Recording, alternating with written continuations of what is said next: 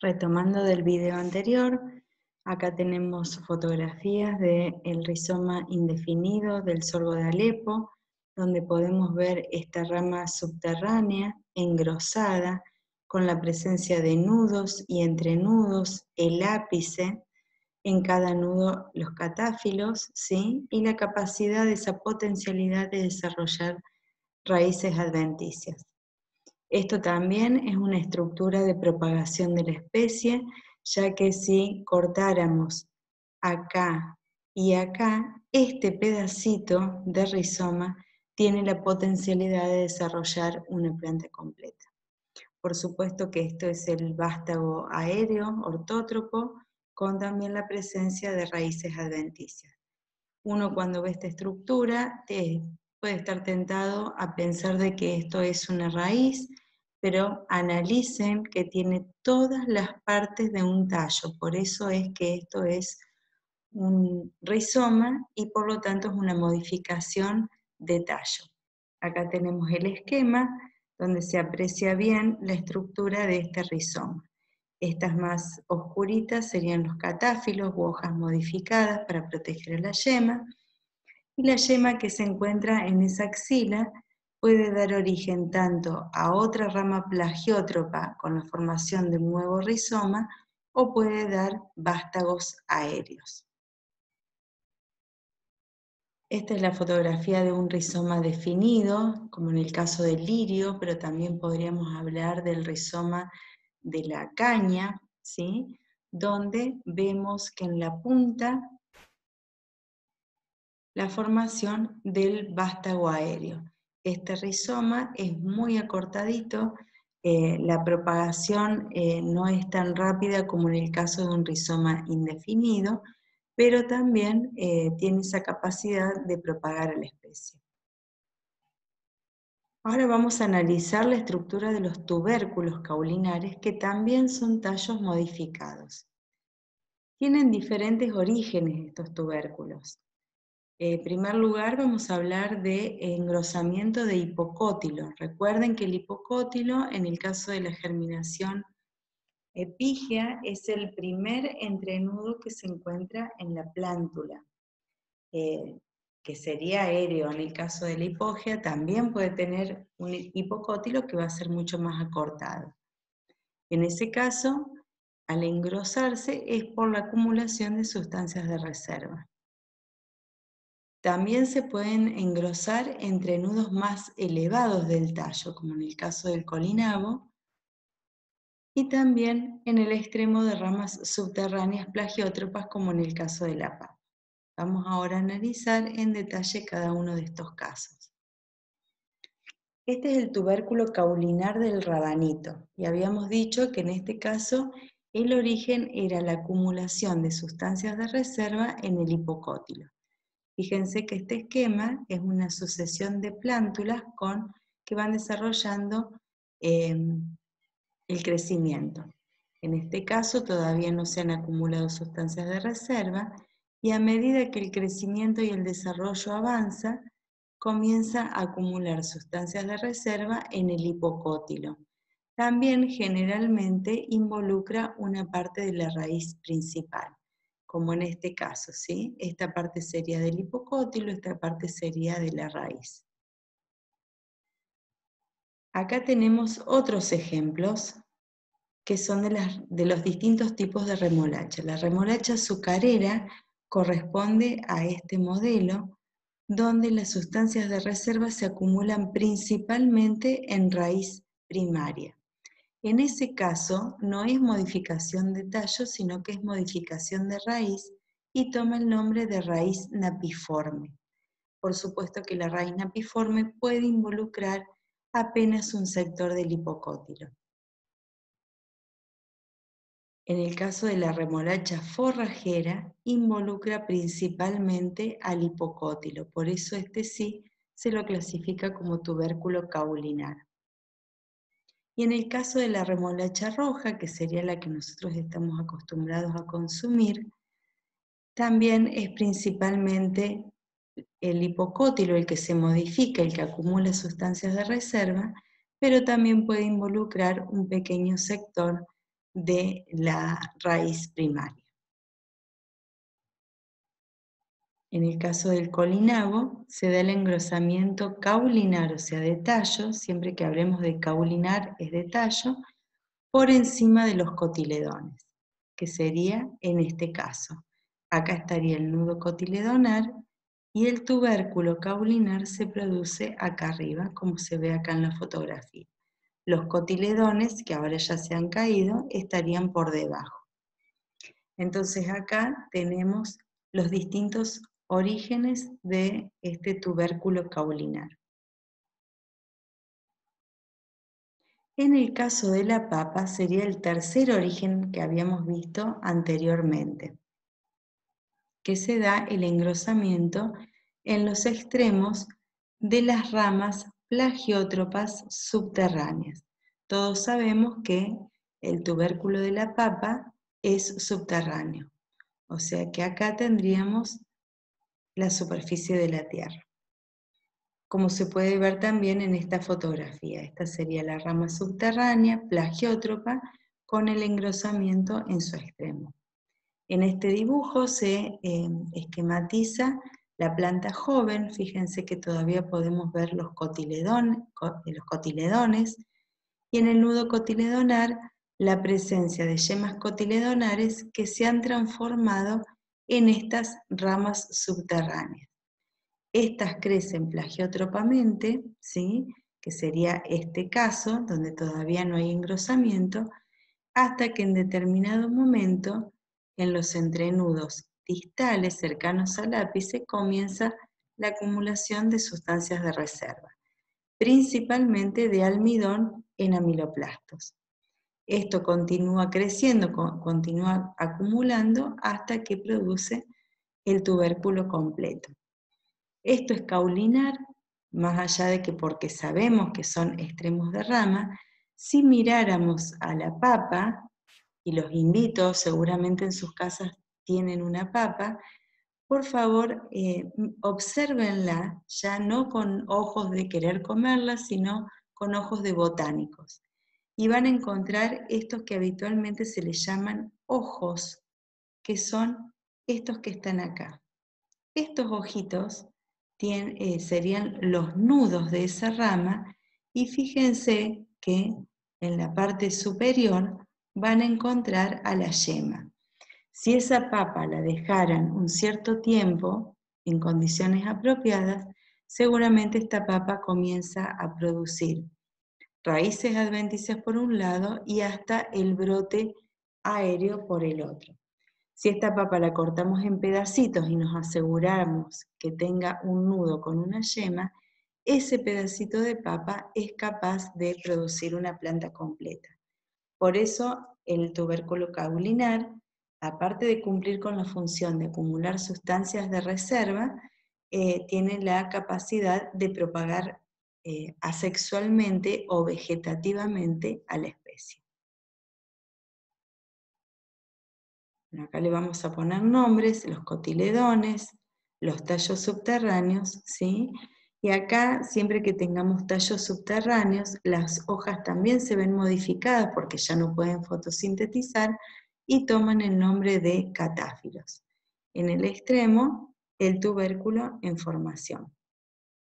Como decía anteriormente, en cada uno de estos ojitos, que serían los nudos de este tubérculo, están las yemas axilares. Ahora vamos a pasar a analizar el tercer órgano vegetativo que forma la planta. Ya mencionamos a la hoja, al tallo, los estudiamos en detalle y también analizamos cómo se pueden modificar. Y ahora es el turno de la raíz. Habíamos visto, ya habíamos estado mencionando, que en general las dicotiledóneas y las pinófitas tienen la capacidad de desarrollar un sistema radical a lo rizo con la presencia de una raíz primaria que se ramifica dando origen a las raíces laterales. Las que se forman a partir de la raíz principal son raíces de primer orden y a medida que se continúan ramificando se les llama raíces de segundo orden, tercer orden y así sucesivamente. Este sistema radical es el que se origina a partir de la radícula del embrión y se llama sistema radical alo rizo. Alo significa diferente, rizo viene de raíz, raíces que son diferentes en cuanto al diámetro. La primaria tendrá un diámetro mayor, mientras que las laterales se van afinando a medida que suben los órdenes de ramificación. Por el otro lado, y especialmente en las monocotiledonias, está el sistema radical homorrizo. Este sistema radical está formado por el conjunto de raíces adventicias. Y acá quiero que presten especial atención. Las raíces adventicias son todas aquellas que no se originan de la radícula del embrión. Es decir, se pueden originar a partir de, generalmente, de los nudos basales. ¿sí? Tienen diferente origen. Por eso, estas raíces que se originan a partir de raíz primaria se les llama laterales y no adventicias como en este caso.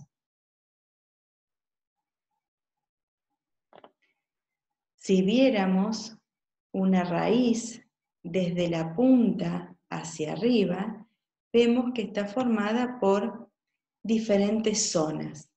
Ya habíamos estado nombrando en el caso del embrión de la semilla y también en el caso de la plántula, que el ápice radical que se encuentra en la punta va a estar protegido por este sector de células que se puede llamar caliptra, cofia o pilorriza. Luego está el, meristema apical formando parte del ápice radical, que es por donde crece la raíz. Hacia arriba hay una zona de alargamiento, ¿sí? donde ya las células que se han producido por mitosis en el ápice aumentan de volumen y ya empiezan a crecer hay una zona de pelos absorbentes, que ahí es donde se produce la mayor absorción de agua y nutrientes por parte de la raíz, y luego una zona suberificada, donde los tejidos internos ya están completamente diferenciados. Acá también están diferenciados y podríamos eh, observar todo un gradiente de diferenciación desde el ápice, donde las células están completamente indiferenciadas, hacia arriba, hacia la superficie de la Tierra, en donde se van diferenciando gradualmente y adquiriendo todas las características de los tejidos adultos. Esta raíz también se puede modificar para cumplir con determinadas funciones. Y acá vamos a hablar tanto de tubérculos radicales como de espinas radicales. Los tubérculos radicales son muy parecidos a los tubérculos caulinares, pero acá las sustancias de reserva se acumulan en raíces adventicias, como por ejemplo en el caso de la dalia en el caso de la mandioca o en el caso de la batata. Eh, si tienen batatas en sus casas también les pido que las empiecen a observar porque este tubérculo radical ¿sí? que se forma por la acumulación de reservas en raíces adventicias también tiene otra modificación que es la presencia de yemas habitualmente y en forma usual, las raíces no presentan yemas. La yema es una estructura típica del tallo.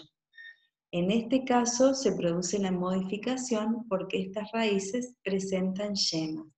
Y al igual que la papa, que recordemos que era un tubérculo caulinar, este tubérculo radical, al presentar yemas, si se corta en pedacitos, ese pedacito también es capaz de originar una planta completa. Por eso se lo considera que eh, es capaz de propagar a la especie vegetativamente. En algunas palmeras se puede dar también la presencia de espinas radicales. En este caso tienen yemas, esas yemas desarrollan con la formación de espinas. Otro tipo de modificación que se da en raíces es la raíz napiforme, que ya la estuvimos mencionando hace un ratito. En este caso, la raíz principal ¿sí?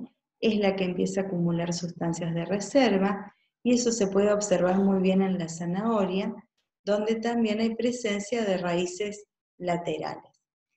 Cuando la raíz principal o primaria acumula sustancias de reserva, se clasifica como raíz napiforme, ¿sí? como en el caso de la zanahoria. Es común también que estas raíces napiformes también involucren una pequeña parte del hipocótilo.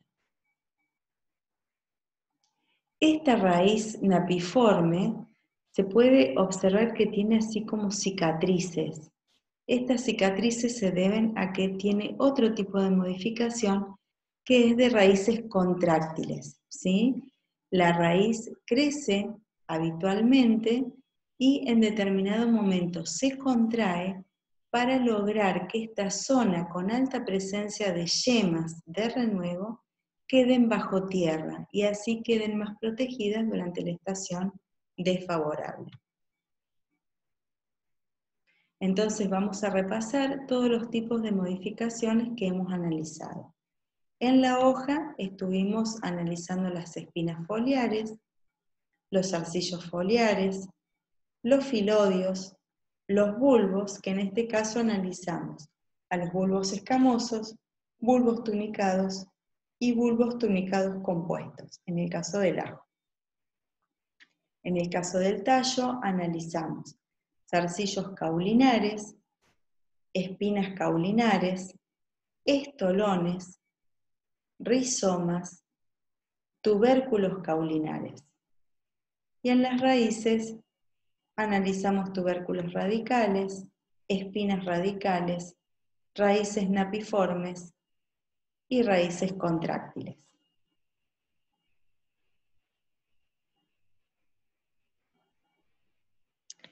Bueno, vamos a hablar un poquito entonces de la duración de la vida de las espermatófitas, o sea, de las plantas superiores.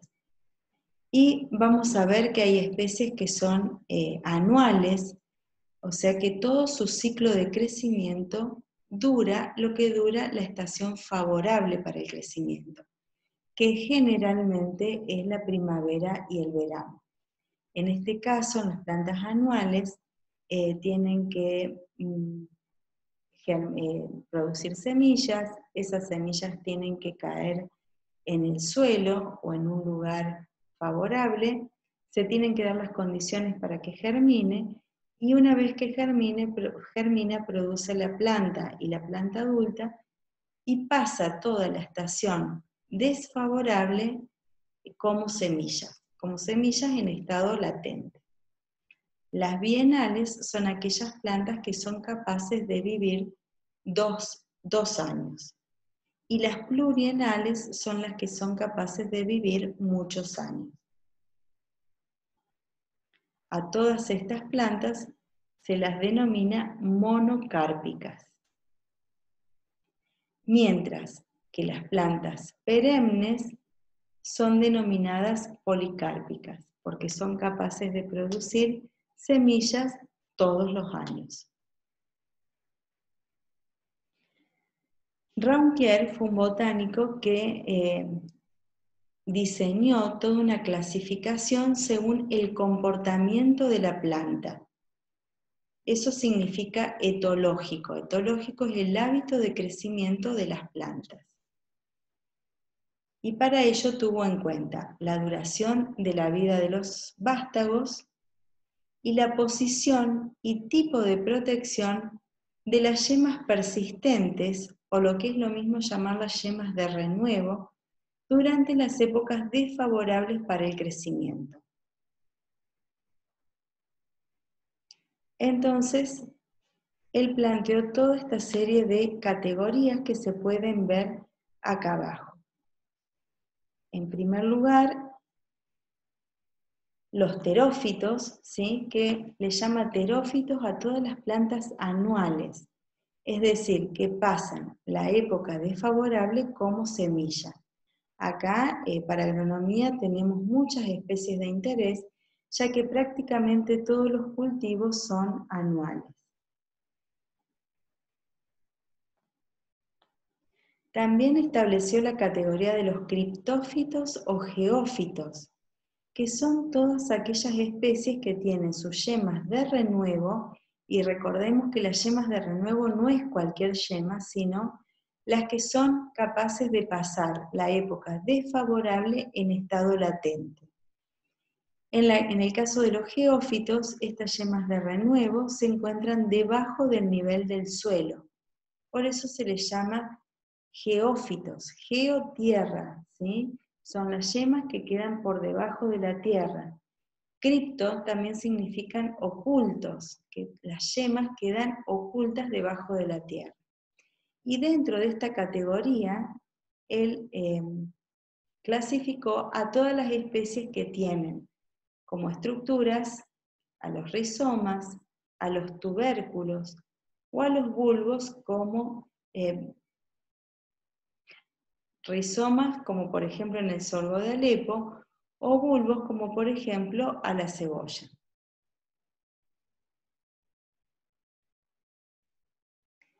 Los hemicriptófitos son los que tienen las yemas de renuevo a nivel del suelo, como por ejemplo la alfalfa, la frutilla, el trébol, todas aquellas especies que tienen estolones como estructuras que portan esas yemas de renuevo.